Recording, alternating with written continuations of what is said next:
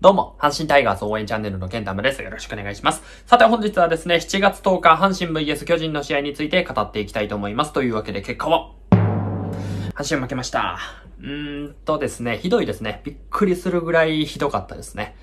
まあ打撃陣が打てないという点においては、まあまあここ最近の阪神というところを考えれば、まあまあぼちぼちなんやろうなっていう風に見れなくもない。まあまあ打ってほしいなというところはあるんですがね。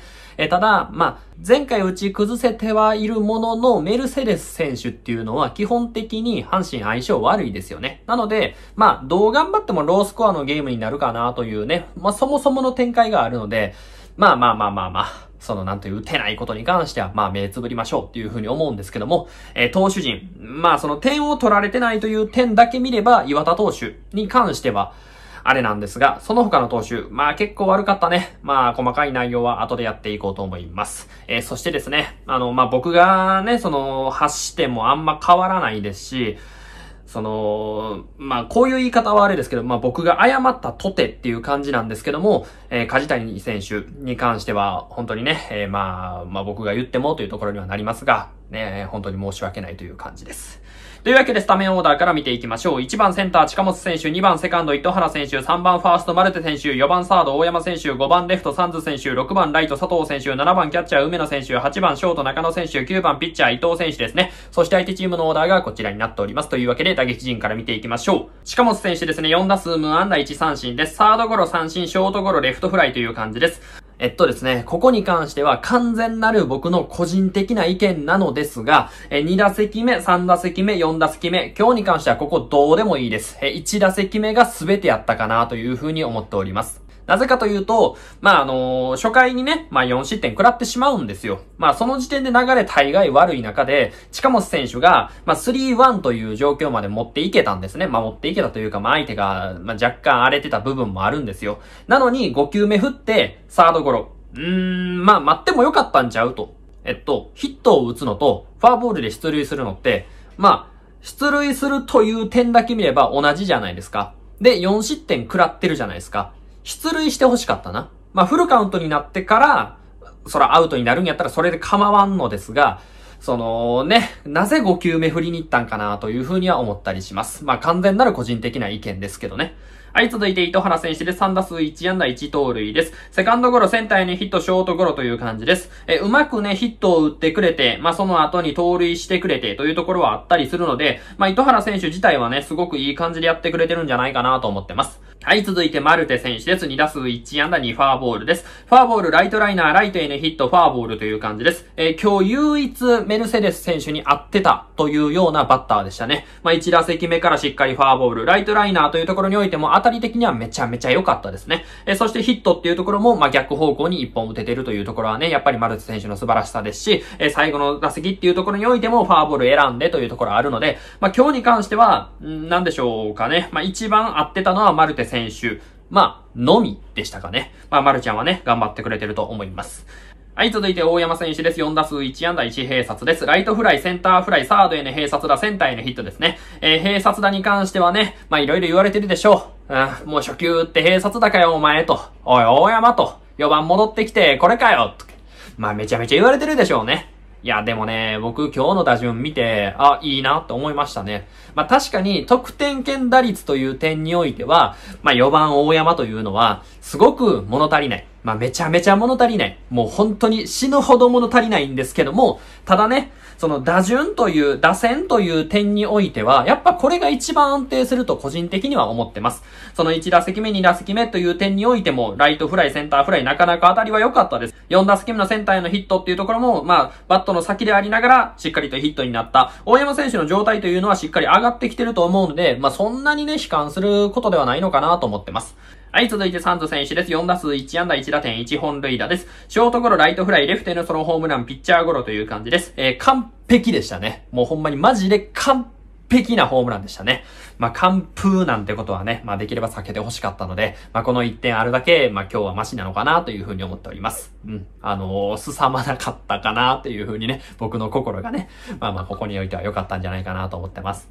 はい、続いては佐藤選手です。3打数1安打1三振です。三振ライテにヒット、ファーストゴロという感じです。えー、っと、まあ、ライテのヒットっていうのがインコースの、まあ、カーブ、スライダーかな。まあ、緩い変化球を投げられて、まあ、我慢してヒット。まあ、ここにおいては良かったんですけども、1打打席目の空振り三振、これは低めの変化球を振らされてしまいましたと。えー、3打席目のファーストゴロ、インコースのね、速いボールかな？えー、詰まらされてしまったと。まあ、カットやったかな？うん。あの、向きになって振りに行ってる感がめちゃめちゃして最後はま変化球振らされてしまうとかね。まあ、その当たれば最悪どうにかなるって感じなんですけども、当たらないことが多々あるので、まあ、ここに関してはね、どっちか捨てないとっていう感じですね。はい、続いては梅野選手です。3打数1安打2三振です。センターへのヒット三振三振ですね。えー、まあ、とりあえず1本。えー、そして2打席目の三振に関しては見逃し三振。どっちもね、今日は見逃し三振なんですけども、2打席目の見逃し三振の最後のボールは外れてるかなと思う。まあ、そのコースはめっちゃ良かったんですよ。おーっていう風に上がるかなっていう、まあ審判の手が上がるかなと思ったんですけども、ちょっと低くないとかって思ったり、まあまあまあまあ、しょうがないですね。はい、続いては中野選手です。4打数1安打です。センターへのヒット、ピッチャーライナー、ショートゴロ、レフトフライですね。え、ヒットはしっかり打ってくれて、ピッチャーライナーに関してもなかなかいい当たりだったので、まあまあ、あの、中野選手自体は良かったんじゃないかなと思います。まあ今日ね、1個エラーありましたね。まあ確かにその梅野選手の送球も、まあ良くはなかった。良くはなかったんですけども、中野選手も、まああのレベルなら取っていただきたかったなというふうには思います。はい、続いて伊藤選手です。1打数無安打1三振です。三振ですね。えこちらにおいては何も思いません。はい、続いて北条選手です。3打数無安打です。ファーストフライ、セカンドフライ、ショートゴロという感じです。うん、まあ、ショートゴロに関しては、これね、その、まあ、僕、その、なんていうかね、テレビの映像なのでよくよくわからないですけども、北条選手に対してめちゃめちゃショート三塁寄りに守ってなかったなんかそういう風に見えたんですよね。その、打った瞬間は、まあ、いいとこ行くかなと思ったんですけども、その、結果として見てみれば、ただただ、ショートの真正面だったんですよね。ちょっとショート三塁寄りに守ってないかな。まあ基本的には引っ張る打球が多いので、まあ、若干寄ってるっていうのもあるかもしれないですけども、そこだけがね、おーっていう風に思いましたね。えー、そして1打席目、2打席目に関しては全く同じの低めの変化球をバットの先で、まあ内野ポップフライ。ちょっとこれはね、見過ごせへんなという感じです。はい、続いては原口選手です。1打数無安打1三振です。三振ですね。えっと、今日初めて、えキャッチャーとして出場しましたね。まあ、スタメンではもちろんないものの、え途中交代でもファーストでの守備はあったんですけども、キャッチャーで出たのが今回初めてでしたね。そのキャッチャーが変わってるのは誰やと思ったらグッチで、おーっていう風に僕は思ったというところです。え打撃内容においても、まあ、あのね、その途中から出てきてすごく難しい中、粘って粘って粘って最終的には空振り三振になってしまったんですけども、まあ、グッチらしさというところにおいては出てると思います。はい、続いてはロハス選手ですね。1打数無安打です。ライトライナーですね。えまあ、結果としてはただのアウトなんですけども、その、そんなに悪くないというふうに個人的には感じてます。はい、最後ですね、坂本選手です。1打数1安打です。レフトへのツーベースヒットですね。えとりあえずこの1本がね、次回に繋がればというところです。えー、三塁線抜けていくいいヒットでした。次回期待しております。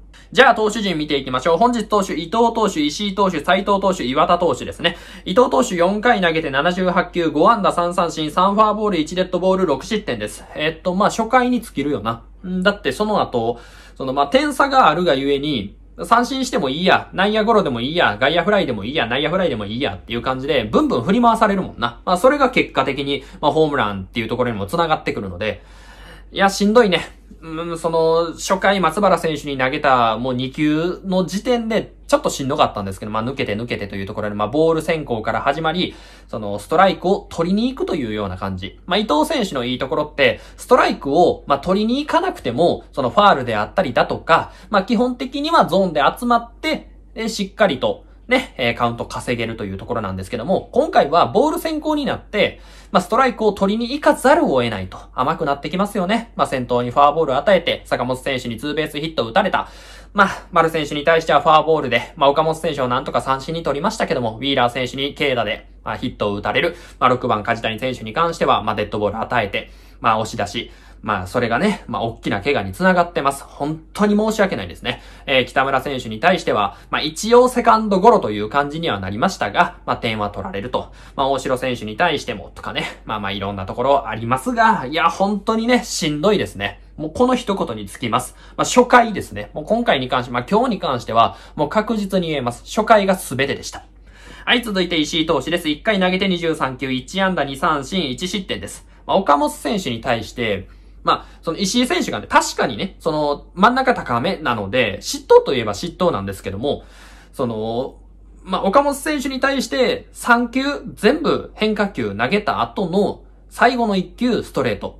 ちょっとこのリードに関してあんまわからんかなと。何を試してるのかがあんまりわからんと。だって基本的にストレート待ちゃいいやんっていう。まあそもそも得点差があるわけなので、とりあえずストレート待ちして、で対応していくだけでいいじゃないですか。そこで、まあその嫉妬といえばそうなんですけども、あそこでストレートの意味は僕としてはあんまりわからん。まあ、これもね、すべて結果論なんです。あれがね、その外野めちゃめちゃ飛んだけど、え外野フライ、え内野フライとかだったらね、まあ、そら、いいボールいったんだっていう風に取れなくないですけども、その配球として見るならば、ちょっと僕としては理解できなかったかなと思います。はい、続いて斉藤投手です。2回投げて34球、2安打2三振、1フォアボール、1失点です。うーん、まあ、できればね、その、わからんよ。そその、斎藤投手が、まあ、1イニング目は良かったんですけども、2イニング目でもうちょっといいピッチングしてて、で、その打撃陣に、まあ、いい影響が伴って、その打順が回ってきてたら変わってたかもしれないですけども、今日はね、その、最後の最後、もう1イニング行ってほしいなという意味込めて、打順も含めて変えたのに、まあ、あんだけ荒れてたらちょっとね、さすがにしんどいよな。まあ、今日最速出たんか158キロストレートいいボールは言ってるんですけども、その、僕が一番はって思ったのは結果的には三振だったんですけども、メルセデス選手に対しての投球、あれ意味わからんよな。あの、メルセデス選手、打つ気なかった。まあ、あそこから打たれたらもうしゃあないと思うんですけども、バッターボックスも一番端に行って、で、フルカウントまで持っていくと。ちょっとこれほんまにマジで意味わからんぞと。そらね、そのプロであるとはいえ、そのど真ん中に投げ続けることってそんなに簡単ではないとは思うんですけども、まあピッチャーも打つ気ないと。その中でフルカウントまで自分で勝手に持っていくのは正直良くなさすぎるよな。しんどすぎました。はい、最後ですね。岩田投手です。2回投げて25球、2安打2三振、無失点です。うーんと、岩田投手のいいところって、まあ、打ち取ることじゃないですか。もっと言うと、ゴロを打たせて打ち取ることじゃないですか。まあ、中継ぎという点も含めて、まあ、若干スタイルは変わっていくのかもしれませんが、その、まあ、見てて怖いなというふうには思ったりします。基本的にはめちゃめちゃ球威あるかとかね、そういうものではないので、正直見てて怖いなとは思ったりします。内容的なところ見るなら岩沢選手もだいぶしん、まあ今はいないですけども、だいぶしんどいんですけども、ある程度、その9位で押した上で、とかならわかるんですけども、なんか怖いなという風に見てしまいますね。まあ今日のね、投手陣の中では、まあ失点してないというところも含めて、まあまあまあまあいいんじゃないかなという風には取れなくないですけども、まあ今日投げたピッチャー正直しんどいかなとは思ったりしてます。はい、というわけで本日は7月10日、阪神 VS 巨人の試合について語らせていただきました。あの、巨人戦って初戦取ってるよな、大体。でも連勝できひんよな。しかもまあ、大体なんか2戦目結構痛い負け方するよな。なんでな？いや、ほんまなんでな？おなんでな？わかりません。ね、次回は勝っていただきたいなというところと、まあ明日勝って、まあ勝ち越しで終えれたらなという感じですね。まあ流れはね、めちゃめちゃ悪いですが、まあ西くんに頑張っていただきましょう。というわけで本日の動画は以上となります。よかったらチャンネル登録、高評価、コメント、あと概要欄の方に Twitter と Instagram のリンク貼ってるんでよかったらフォローお願いします。というわけで失礼します。バイバイ。